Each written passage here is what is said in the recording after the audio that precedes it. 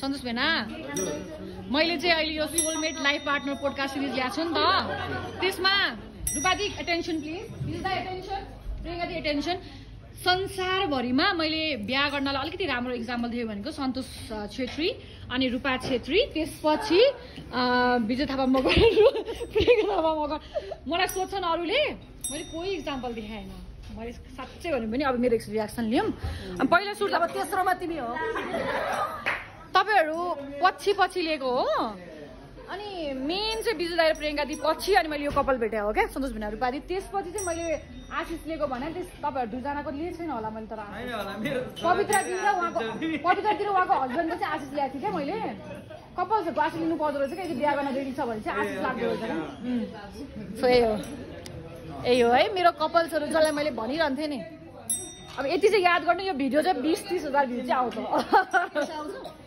पैसा त आउँदैन नि।